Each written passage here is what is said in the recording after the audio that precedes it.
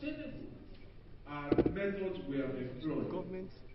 So, Uh, I'll use your words. I make this Government as is not prefasory But it is to the the questions I wish to ask. to ensure that people can What create is the businesses. definition of unemployment? That is the business of government to ensure that people Today. create businesses.